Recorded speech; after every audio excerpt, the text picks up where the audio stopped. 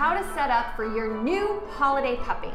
First, let's start before your puppy even comes home.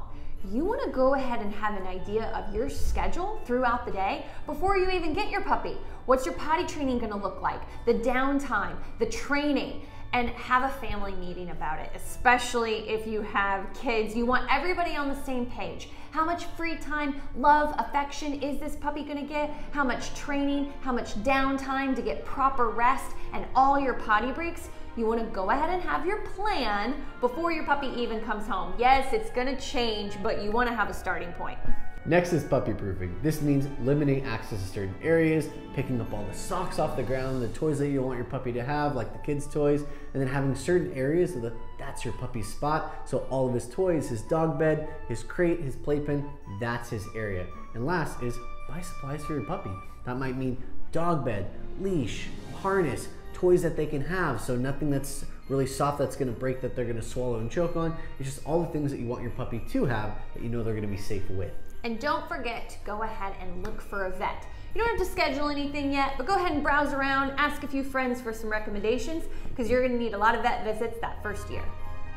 Now comes your first day home with your puppy. Now your puppy is gonna be really overstimulated. So we've got some tips for you that might seem a little different than the norm that we'd like you to try.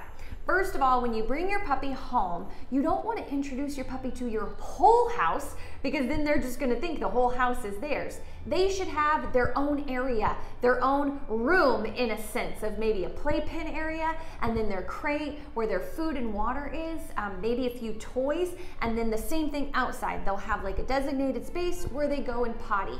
Introduce your puppy to those areas your, their first day, not necessarily just sitting on the couch with them. So definitely go ahead and, and have this mentality that you don't want to give your puppy the whole house to investigate, but you do want to maybe put your puppy in their playpen and let them hang out there for a bit and see how they feel out their area.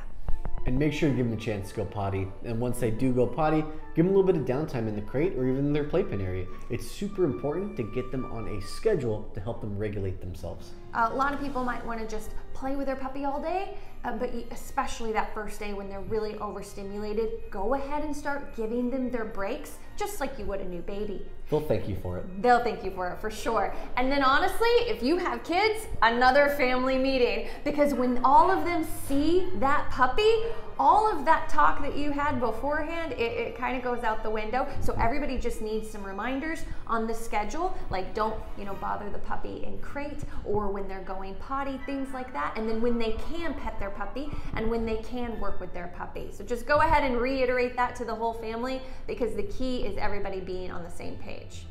Now for the first week. So what we'd like you to do is try to carve out three to five five minute sessions a day. So at different points throughout the day, for about five minutes, you're gonna work with your puppy and start teaching them things. Our favorite thing to start with is what we call the relationship game, is where you just take your puppy's kibble and you teach him to follow you around. And then you can turn this into a come command. And you don't have to feed one piece at a time. You can, you know, a handful of, of, of kibble, or if you're using wet food, we even use wet food with gloves. Mm-hmm. and we're very committed, but it's so helpful to do that your first week. And then later on, sit and we like targeting place, which is basically a go to your bed command. Those are our favorite three to start with, but obviously you can do what you like. The big one is the relationship game. Just teaching your puppy to follow you around for food. Super simple, but it builds that connection between the two of you. You're basically building a foundation. Mm-hmm. And yeah. next, get your first vet appointment set up. You just need a general checkup. You might need your booster shots, things like that. And last is going to be refining your schedule. So if you have a puppy that's able to hold their bladder for a little bit longer, extend out the amount of time that they're doing in the crate or their downtime in the playpen. And if they can't, shorten it up. You got to find something that works for your puppy, and that might be more free time, less free time. Every puppy is a little bit different.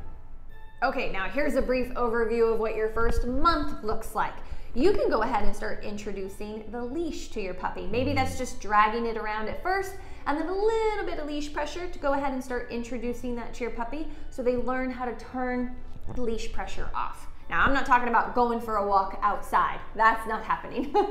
but you can go ahead and start holding the leash and using food, and so the puppy gets used to it. So when you are ready to go outside, it won't be brand new to them. So you're prepping them for it before they uh, actually get their walk time. Setting them up for success. Yeah, exactly. And now socialization. This is a big one for us because a lot of our puppies, they need to meet other puppies. If you have neighbors, you have friends with puppies their same age, you want to start making friends with these people. Try to link personalities if you can, so there's a give and take to play. And even older dogs that are really tolerant of puppies is Mm. a good choice too. Just make sure that everyone is vaccinated, the dogs. Stay safe. and then when it comes to people, uh, you can have your friends come over, give food to your pup, maybe have your puppy sit and have your friend give them a piece of food, and go ahead and start making those great associations. Now, the last thing we'd like to talk to you about is uh, the rest of your basic commands. Now, we've got sit, down, stay, come, place, let's go, uh, a break command or a free command, and then waiting at thresholds, waiting for their food bowl. Oh my gosh, if this all sounds overwhelming, you're, you're not the only one that feels that way. That's why we put together an online puppy school to make puppyhood easier. Just click the link below and you can check it out. We have tons of videos from how to greet neighbors, how to meet other dogs, puppy nipping, jumping, all of that good stuff, potty training, and something simple like just sit down, stay, and come. We have all of that outlined for you if you'd like to check it out.